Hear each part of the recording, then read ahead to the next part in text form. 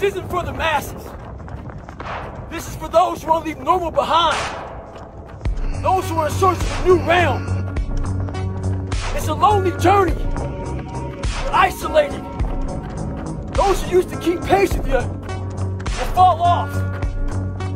They'll see where their world ends and yours begins.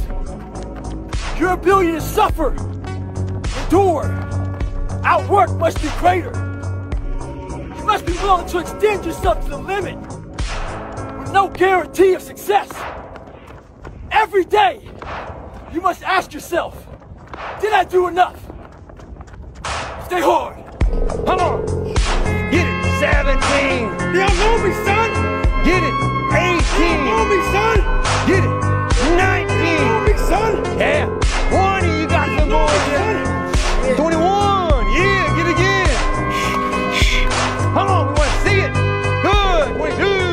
carry the boats and the logs?